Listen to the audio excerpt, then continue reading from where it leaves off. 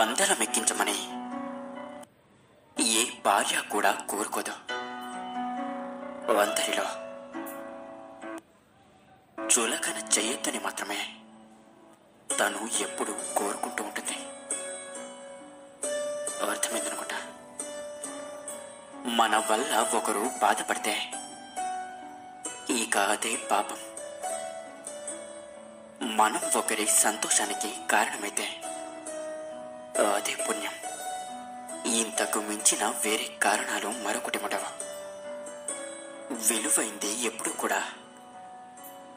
ఆ విలువ తెలియని వారికే దొరుకుతూ ఉంటుంది. అది వస్తువైనా విలువైన బంధమైన. కదంటారా? స్నేహం అంటే సంతోషంగా ఉన్నప్పుడు కలిసి ఉండేది కదా. కష్టాల్లో ఉన్నప్పుడు నేనున్నానంటూ తోడుగా నిలిచేది. గుర్తుపెట్టుకోండి నటిస్తున్నారని ఒక్కసారి తెలిసాక తరువాత ఎంత నిజాయితీగా ఉన్నా కూడా కోల్పోయిన నమ్మకాన్ని మాత్రం తిరిగి ఎప్పటికీ పొందలేవు. నా మాట విని ఆలోచించడం మానేయండి. భయాల్ని తీసి పక్కన పెట్టేయండి. మీరు ఎన్నటికీ ఒక మాట మరవకండి. మీకిది స్వయాన ఆ భగవంతుడిచ్చిన వరమని. తద్వారా మీరు మీ కర్తవ్యాన్ని ఆలోచించుకోగలుగుతారు. భయపడకండి. మీరు ఈ వర్తమానంలో చేసే పనుల కారణంగా మీ వర్తమానం మాత్రమే కాదు మీ భవిష్యత్తు కూడా భవ్యంగా మారుతుంది. దాని మీద దృష్టిని కేంద్రీకరించండి. అంతా శుభమే జరుగుతుంది. విశ్వాసంతో ఉండండి. నువ్వెంత బలవంతుడివైనా నువ్వెంత సమర్థుడివైనా సమయం నీతి కానప్పుడు సంయమనంగా ఉండు. సమయం గొప్పది.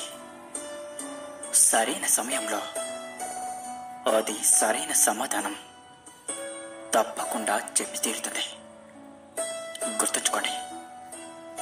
నీ బలాన్ని నువ్వు గుర్తించినంత వరకు ప్రతి బలహీనత కూడా నీ గమ్యానికి అడ్డుపడుతూనే ఉంటుంది. నీ ముందు నటించే వాళ్ళుంటారు. వెనుక వెన్నుపోటు పొడిచే వాళ్ళుంటారు.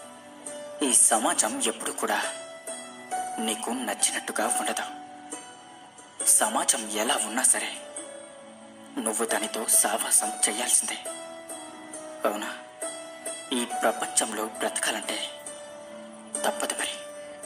జాగ్రత్తగా ఉన్నటే నువ్వేమీ చరిత్రలో నిలిచిపోయేంత యుద్ధాలు చేయనక్కర్లేదు. నీ బాధలు సమసిపోయేంత పోరాటాలు చేస్తే చాలు. అర్థమైందనుకుంటా? అపార్థాలను అంత సులువుగా తీసుకోకో. ఎందుకంటే అవి అనుబంధాలకు అడ్డుగోడలు కాగలవు. గుర్తుంచుకోండి ఆ లోకం అంటూనే ఉంటుంది. ఆగిపోతామా? దృఢంగా ముందుకు సాగిపోతాం కానీ వెనుక మాట్లాడే వాళ్ళని ఆ వెనుకే ఉండనివా నువ్వు మాత్రం ముందుకు వెళ్తూనే ఉండవు ధైర్యంగా ఉండడే. ఆవేశం అనార్థానికి దారితీస్తే ఆలోచన అవకాశానికి దారి చూపుతుంది. ఆలోచించి చూడు. నీకే అర్థమవుతుంది. వాడిని ఎలాగైనా అనగదొక్కాలి వాడు స్థలాలు కొంటున్నాడు. పొలాలు కొంటున్నాడు. భార్యకి నగలు నట్లా చేయిస్తున్నాడు. మా ముందర పెరిగి ఇప్పుడు మాకంటే పై స్థాయికి పోయి మాకంటే ఎక్కువగా ఎదిగిపోతున్నాడు. వీడిని ఎలాగైనా కిందకి తొక్కేయాలని ఎంతోమంది మనుషులు నిన్ను తొక్కాలని చూస్తే నువ్వు మాత్రం ఏమీ కంగారు పడకు. వాళ్ళని ఆ భగవంతుడు తొక్కేస్తాడు. గుర్తుపెట్టుకో.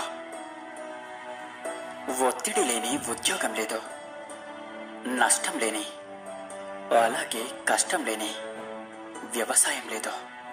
బాధలు లేని సంసారం లేదు. సమస్యలు లేని మనిషి ఈ లోకంలోనే లేడు. ఇవన్నీ సాధిస్తేనే జీవితం. కదంటారా? అడవిలో తిరిగే పులిని నమ్మచ్చు. నీటిలో ఇదే ముసలిని నమ్మచ్చు. కానీ అస్తమానం నటిస్తూ నమ్మించాలని చూసేవాళ్ళ. నీడను కూడా నువ్వు నమ్మకూడదు. మనిషి యొక్క జీవితమంతా డబ్బుతో డబ్బు చేత డబ్బు కొరకు నడుస్తుంది. అవునా?